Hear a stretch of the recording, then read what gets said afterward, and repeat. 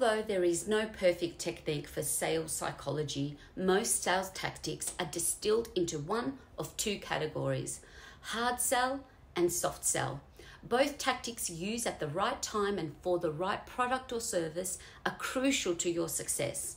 And understanding the difference between the two is a vital to your strategy, as is any other important business plan.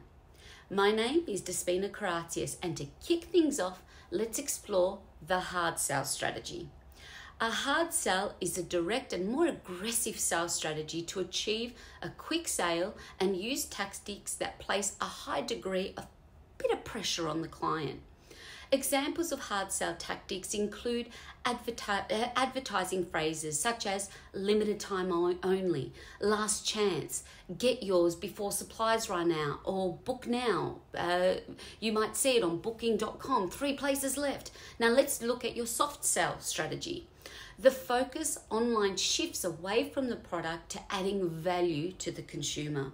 Some examples or how to facilitate a soft sell includes knowing your product thoroughly, showing a genuine interest in the experience of your prospective buyer, staying positive and offering value without asking for a sale. Give them space to decide. So the soft sale is more giving value and adding value and believing that the sale will come.